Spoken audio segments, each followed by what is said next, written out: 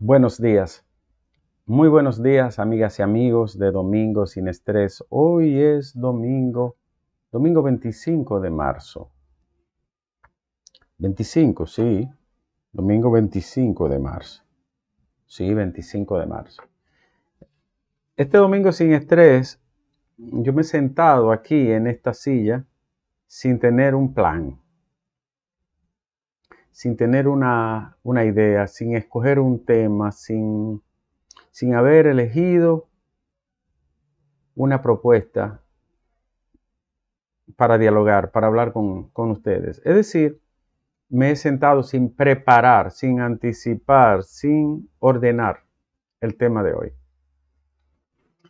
Y estaba buscando un tema porque me gustó mucho el de la semana pasada de Byung-Chul Han y la maestra OnlyFans tratando de explicar el fenómeno de la desregulación de la intimidad, de cómo todo está tirado así a la red.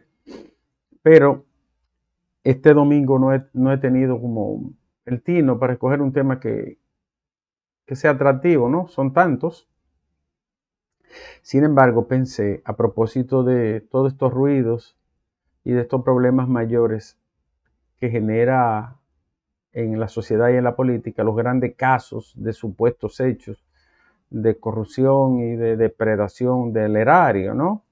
Y entonces quiero pensar en, en darle un enfoque algo criminológico, algo ético, algo neurocientífico. ¿Qué ocurre en nuestro cerebro cuando nos decidimos a violar la ley, a transgredir el orden, a cometer un hecho que sea calificado como impúdico, antiético o delictivo. ¿Qué ocurre en nuestro cerebro? Porque si venimos diseñados para, para hacer las cosas bien, aprenderla hace bien, más bien, ¿no? Venimos diseñados para aprender a hacer las cosas bien.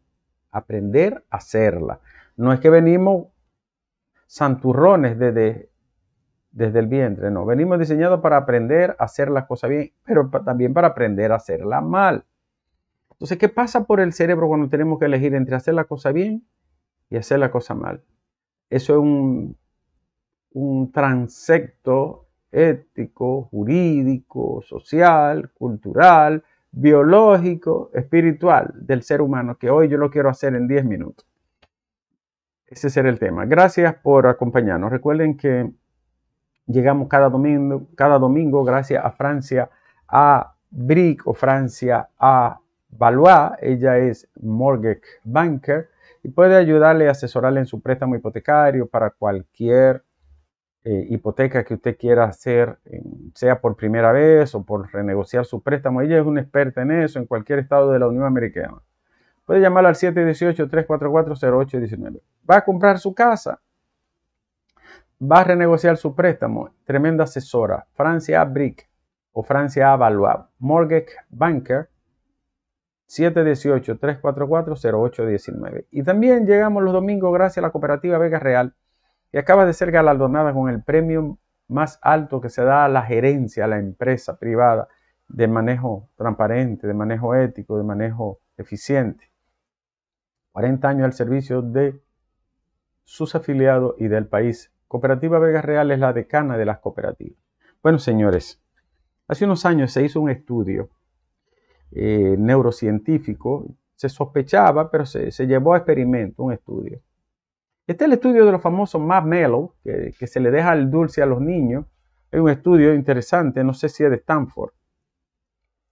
No lo recuerdo bien. Lo leí hace un tiempo y el doctor Guerrero Heredia, que es un maestro en estos temas, a veces me lo refresca.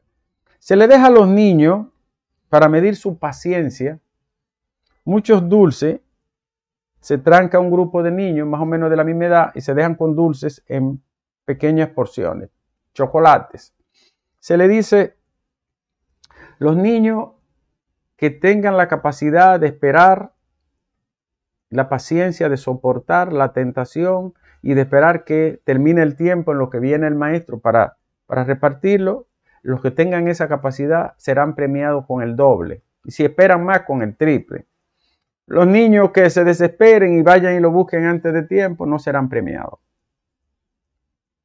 Pues ¿cuál es la, la conclusión del, del experimento social.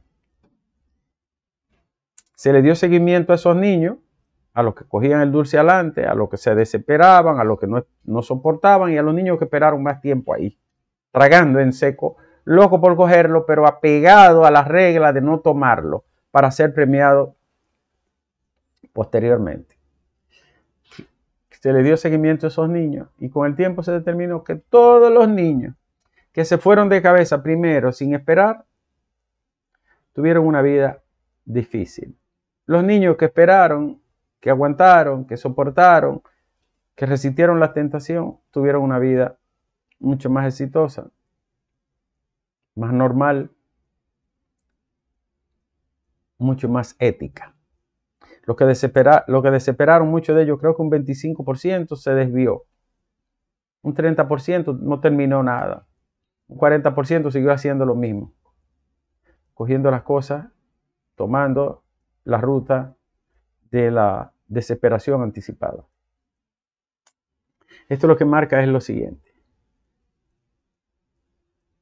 Si en la niñez, en los primeros años de la vida, el cerebro se entrena para soportar, el cerebro se entrena para aguantar, para contenerse, será mucho más posible, una potencialidad mucho mayor de que ese ser humano, niño o niña, sepa mejor qué va a hacer con su proyecto de vida, sepa manejarlo mejor, administrarlo mejor. Ese estudio de lo más melo, reitero, se compadece con el día a día de la vida. El otro estudio es que se ha determinado que los, de, por ejemplo, depredadores sexuales, asesinos en serie, criminales, personalidades antisociales, límite, borderline, esos antisociales a gran escala, cada vez que se le hace un perfil y una biografía de esas vidas desde la etapa temprana, se conoce que la mayoría de ellos dan señales, alertas de hacia dónde van a ir. Por ejemplo, es muy difícil que un depredador, un asesino en serie, no haya tenido problema en su niña. Casi siempre hay trastornos, traumas, abusos, atropellos, que al final se convierten como en una especie de explosivo guardado para posteriormente detonarlo en, su personalidad y, hacer y replicar eso que le hicieron, pero todavía con mayor fiereza, agresividad y hasta bestialidad. Ahora, el caso, hay un experimento maravilloso de los niños, em, más bien estudios, ¿no? que se han recolectado. Los asesinos en serie todos empezaron matando animalitos. Mataban lagartos, lo abrían, ranas, ratas, eh, estos animalitos que le llamamos bebe leche aquí en el país son, no recuerdo su nombre, atrapando insectos cada vez que podían, agarrando perros, perritos, gatos, sometiéndolo a, sufrimiento. Y empiezan de primero pullándolo, haciendo punciones con una jeringa, atándolo con una cuerda. y en esa misma medida van desarrollando cada vez una actitud más más agresiva, ¿no? Hasta que lo abren, lo suturan, vuelven y lo abren, hacen de todo. Una buena parte ha sido así. está documentado, no estoy inventando nada. Pueden buscar a Jeffrey Dahmer, a Ted Bundy, John Wayne Gacy, ¿cómo se llama el ruso? Creo que Nikolai Chikatilo, Andrei Chikatilo, Andrei Chikatilo, que es probablemente el más depredador o el mismo Garavito, el colombiano, que es el más grande depredador pederasta de la historia. Se habla casi de 400 niños y niñas abusadas y asesinados por este señor. Y Garavito. Busquen el apellido Garavito. Y siempre tienen ese denominador común. Eso significa, en, en sentido muy estrecho, que la vida y la biología nos da la carta de jugar pero la sociedad es la que nos establece cómo la vamos a tirar las cartas. Es decir, la biología nos otorga las cartas para jugar la vida. Pero la sociedad, una vez entramos a ella, es la que establece el mecanismo en que jugaremos esas cartas. Somos una mezcla de biología, de sociedad, de cultura, de mente, de espiritualidad, es decir, de moral, de ética. Súper demostrado desde el punto de vista de la criminología, de la psiquiatría, de la ciencia del cerebro, de la neurociencia. Los delincuentes, incluyendo los de cuello blanco, empiezan con pequeñas partes que van logrando.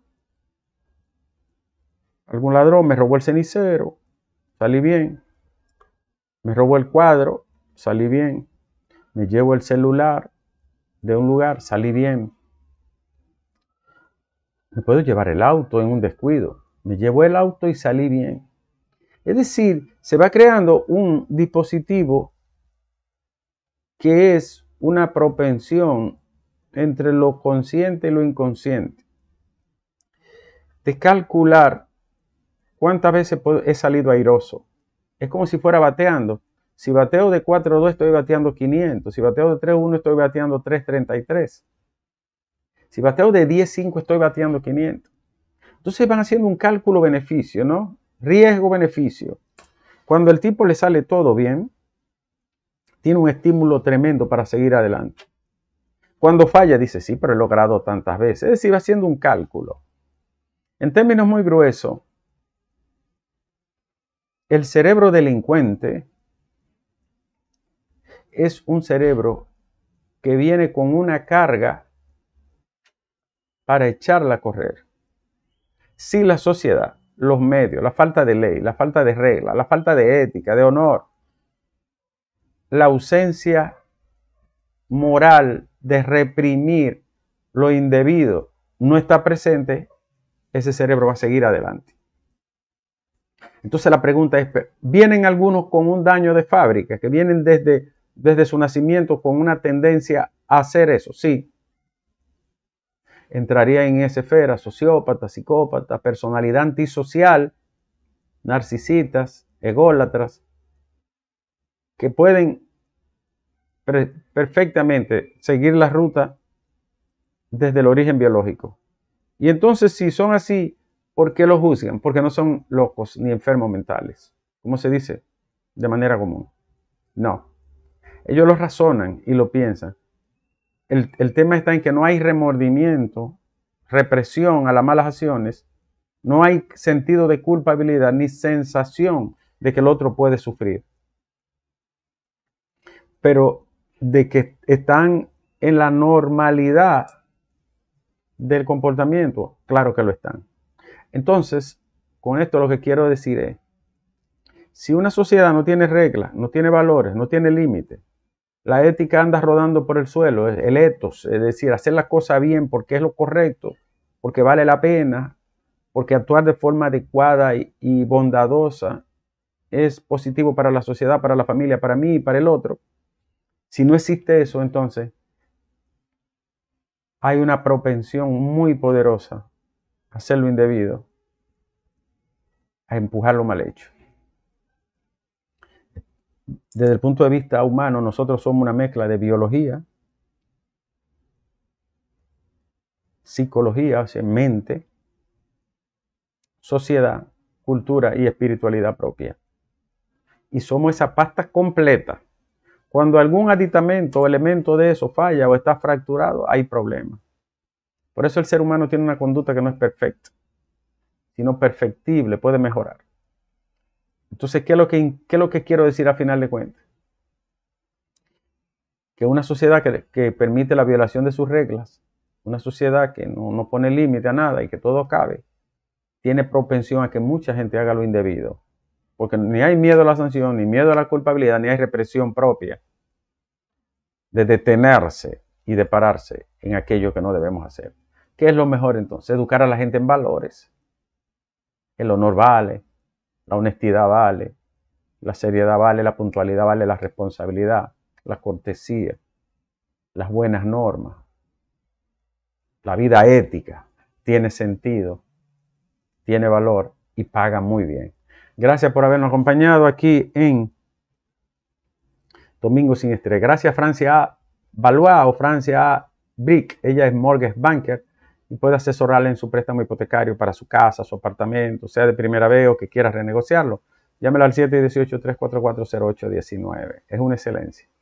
Y gracias a la cooperativa Vega Real, que es una marca país y un ejemplo nacional, la maestra de las cooperativas dominicanas. 40 años de servicio a sus afiliados y a la nación. Nos vemos mañana lunes, Dios mediante.